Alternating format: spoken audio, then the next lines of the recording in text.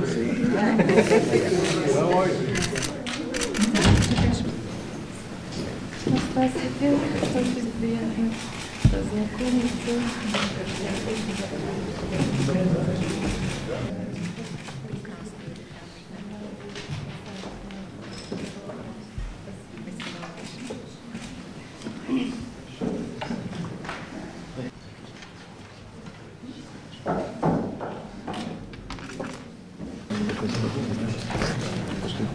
Шановні колеги, шановні е, гості, політехніки, яка також е, невеликими партіями вже отримує Україну.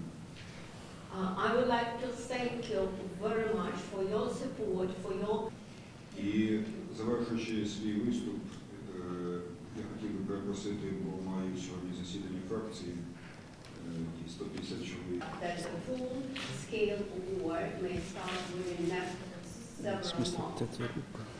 На жаль, дані розвиток союзника, який гарантував нам територіальну і фізичну безпеку як країни, так і кожного громадянина. Хочу перш за все подякувати вам за ваш консолідований спільний приїзд в Україну, бо це є найвища демонстрація солідарності з Україною. Це є така глобальна і публічна підтримка України в цей важкий момент. Dear friends, my name is Yulia Tymoshenko. I represent Batkivshina uh, faction, and I would like to start with extending my warm gratitude for your visit, for all of you coming to Ukraine at this time, because this is for us is a sign of solidarity. Е, Але враховуючи, що ми друзі і цінуємо кожну хвилину, ми мусимо говорити один одному виключно реальні речі. But precisely because of that, we consider ourselves friends, and we would should value every minute of our communication. We should speak truth to each other І діяти адекватно. and act accordingly. І перше, про що я хочу сказати, що весь світ покладається на мінські домовленості, перший і другий, як шлях до врегулювання ситуації в Україні, як шлях до припинення війни. І я хочу зразу сказати, що е, не применшуючи значення мінських угод, треба визначити, що їх недостатньо. First of all, uh, I would like to recognize a simple truth. While the whole world, uh, the international community, seems to rely exclusively to the only available framework, namely Minsk framework, uh, I think we should tell truth to each other that it's not sufficient. Е, Вчора президент України дуже чітко сказав, що з моменту укладання другої мінської домовленості більше тисячі ста разів порушено перемир'я. Тисяча ста разів за лічені буквально е, тижні. This Це, was President це факт. of Ukraine who yesterday publicly uh, admitted and recognized that since the beginning of the most recent ceasefire, more than 1,100 times ceasefire have been violated. It's a fact. Тобто, перше, немає замороженого конфлікту.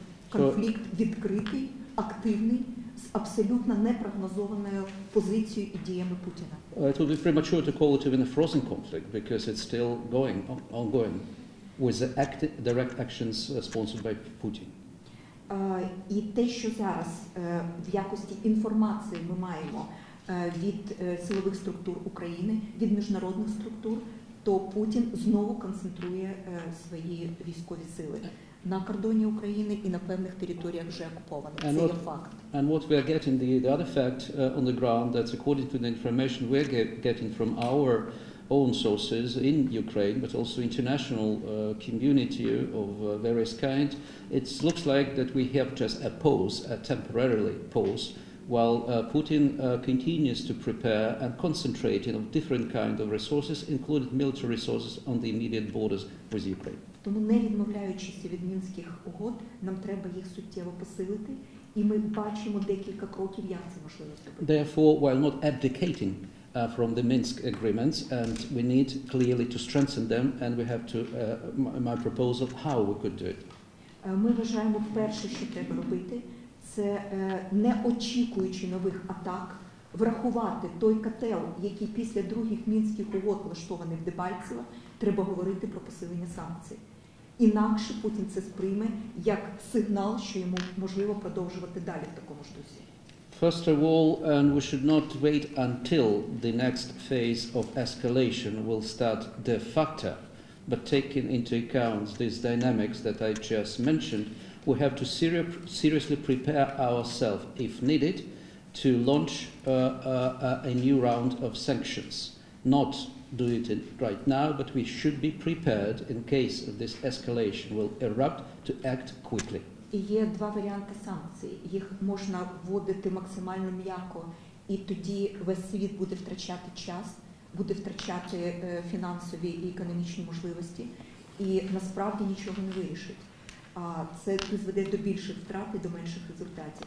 Ми вважаємо, що санкції мусять бути е, досить короткі в термінах, але надзвичайно жорсткі для того, щоб можна було зупиняти, а не е, умиротворювати агресію. And there are two types of sanctions, and we were uh, uh, very clear about that from the very beginning of the conflict. One, gradual, calibrated escalation of sanctions depending on the situation. It looks like a reasonable one, but it's at the end very painful for those who introduce these uh, sanctions and not necessarily would have a visible and immediate impact on the object of the sanctions. The other type of the sanctions, which I believe should be uh, seriously taken into account, uh, very intensive but limited in time sanctions that would show uh, the other side, Mr. Putin, that uh, the uh, unified position is strong and it's not ambiguous. Е, Наступне ми вважаємо, що сьогодні е, мусить припинитися дискусія, яка розколює демократичний світ навколо того, постачати Україні високотехнологічну зброю чи ні. Просто треба подумати про те, що е, в тому числі західний демократичний світ приймав участь в роззброєнні України. Ми реально скорочували армію під гарантії. Ми реально скорочували зброю, якою володіла Україна після того, як отримала незалежність.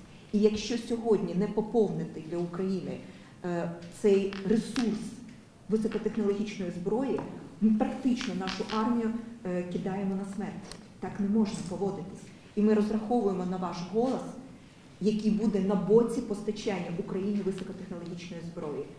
Тому що Путіна зупинити словами лише словами і лише домовленостями без будь-яких гарантій механізмів виконання неможливо. Просто треба його знати. Він вже перейшов червону лінію. Also, I think that this ongoing and very painful and at the end counterproductive debate whether Ukraine deserved to be uh, supplied with the arms uh, is really uh, backfiring because uh, uh, it would be uh, not uh, uh, productive to continue this discussion. Clearly understand that Mr. Putin will understand only a serious facts on the grounds. So as the fact of deterrence uh, and in a way containment, despite of the recognition of uh, uh, the, uh, the, the quality that Mr. Putin apparently possesses, escalation dominance, still those uh, facts on the ground should be uh, uh, delivered, and Ukraine deserves this to be delivered because it was Ukraine who gave up uh, uh, unilaterally its uh, arsenal, and uh, the other side who guaranteed it territorial integrity and sovereignty didn't deliver. Therefore, your, your position is very much, uh, very much crucial in making sure that this current equilibrium on the sanctions would result at the end in the positive, constructive actions on the ground, which includes arms. Every day without arms is it's a new death, it's a death uh, uh, to Ukraine. Ми також вважаємо, що зараз Україна мусить негайно ратифікувати Римський статут і негайно піти до Гаагського трибуналу. У нас є всі докази, всі документи, всі факти. Є навіть фільм Путіна, де він прямо визнає е, свою керівну роль в анексії Криму. Е, Нам треба починати процес в Гаагському трибуналі, тому що якщо не починати, це є свідченням того, що е, він діє в межах міжнародного права. There i- there is a legal instrument that needs to be used effectively, that Ukraine needs to ratify without further delay a Rome Statute and join the International Criminal Court, uh, because, well, procrastinating with that, we are not using uh, a legal weapon or ins- instrument, set of tools which are available, because Putin then would, uh, would, would act accordingly.